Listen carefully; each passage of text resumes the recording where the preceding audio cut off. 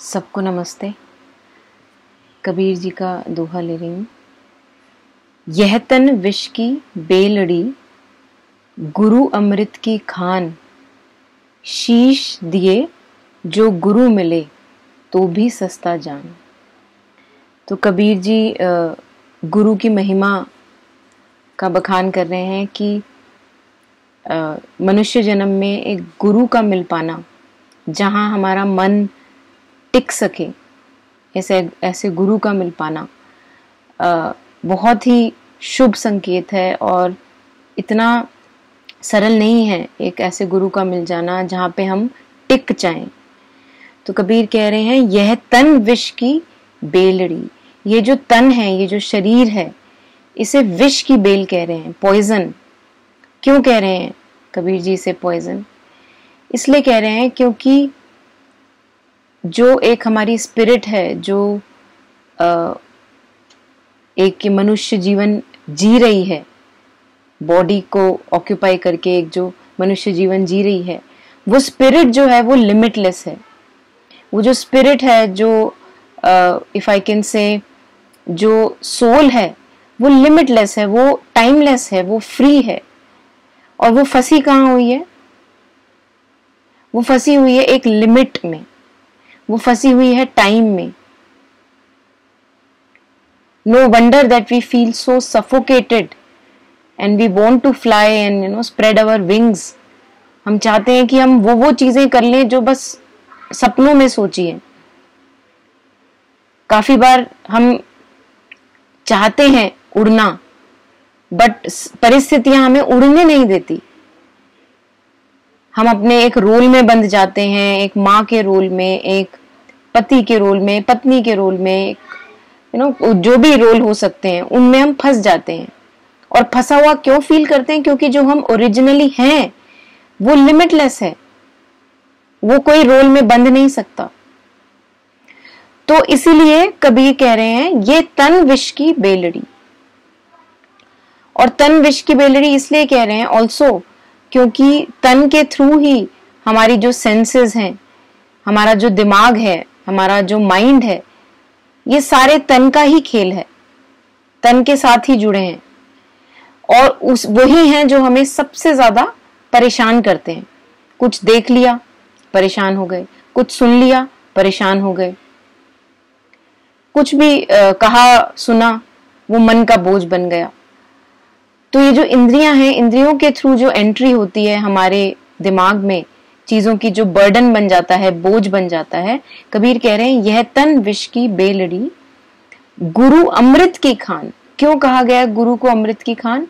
क्योंकि गुरु हमें उससे मिलाते हैं जो लिमिटलेस है। गुरु हमें उससे टच में लाते हैं जो हमारा ही पूर्ण स्वरूप है। जिसको हम इस शरीर में रहते हुए भी मैनिफेस्ट कर सकते हैं। उस लिमिटलेसनेस को, उस टाइमलेसनेस को। जिससे हम उस सफोकेशन से राहत पा सकते हैं। जिस सफोकेशन में हम अपने आप को डाल के रखते हैं, कभी किसी रोल में बंध के, कभी किसी रोल में बंध के। गुरु हमें हमारे परम तत्व से जो हम, हमारा पूर्ण स्वरूप है, उससे टच में लाते हैं। हमारे, हमारा उससे मिलाप करवाते हैं। जो हमारा इनर गॉड हेड है inner guiding light which has the all powerful wisdom the force the courage strength to live life clarity एक नई ज़िंदगी हमारे लिए वो शुरू करवाते हैं, अगर हमें एक सच्चे गुरु मिल गए हैं। यह तन विश की बेलड़ी गुरु अमृत की खान अमृत की खान। अमृत। मोर्टैलिटी से दूर ले जा रहे हैं इमोर्टैलिटी की तरफ़। हम में ही वो जो है, जो कभी मर नहीं सकता,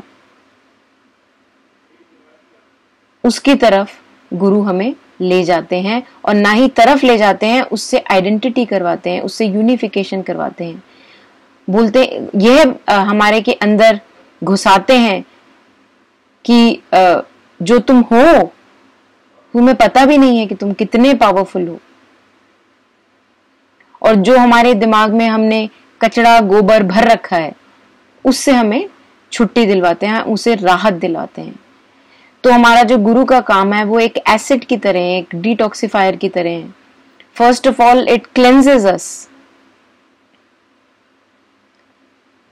It cleanses us of our burdens which have we have been carrying for so long. It lightens our burdens and then it unites us with that all powerful wisdom, with that all powerful light residing within this body only and without the body also. शीश दिए जो गुरु मिले तो भी सस्ता जान तो कबीर कह रहे हैं कि अगर तुम्हें अपना सर कटा के भी गुरु मिल जाते हैं तो भी सोचो सस्ते में मिल गए। उसको सस्ता कह रहे हैं कबीर।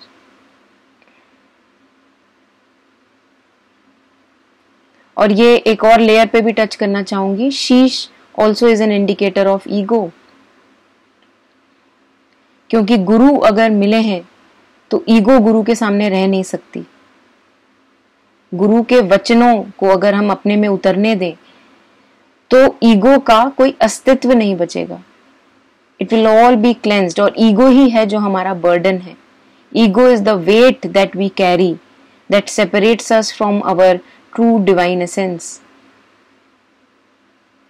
clarity लाते हैं गुरु के शब्द, संतों के शब्द। तो कबीर कह रहे हैं कि ऐसे शब्द, ऐसे गुरु अगर आपको मिल जाएँ जो अमृतत्व की तरफ़ आपको ले जाएँ। अगर आपको शीश भी उसको कटा के उनको देना पड़े, गुरु दक्षिणा में तो भी सस्ता जानिए। तो भी ये जानिए being grateful that you have got it at least in this life because we come for so many life times and we still remain a trapped in our body in the mind in the feelings in the emotions तो क्या हम ये कर सकते हैं? क्या हम अपने आप को एक मौका दे सकते हैं? इसी जन्म में। अमृतत्व के साथ यूनिफिकेशन का। जो हम हैं, उसी के साथ यूनिफिकेशन और वो तब हो पाएगा जब हम खुद तैयार हों इस पद पे चलने के लिए। क्योंकि अपने ही पैटर्न्स अपनी ही टेंडेंसीज जिनको अभी तक अपना माना है, जिनको माना है कि ये मैं हूँ, उनको हमने त्यागना है। बहुत बड़ा काम है। इतनी अटैचमेंट होती है अपने टेंडेंसी से, अपने पैटर्न से कि इतना आसानी से छूटते नहीं है। दर्द होता है। दर्द के थ्रू जाने के लिए अगर हम तैयार हैं बट उसके साथ पूर्णता का भी एहसास मिलेगा फ्रीडम भी मिलेगी, एक नई तरीके की ज़िंदगी, जिसमें हर दिन नया हो पाता है। हर एक दिन अपने में कंप्लीट है। क्या हम ये कर सकते हैं? नमस्ते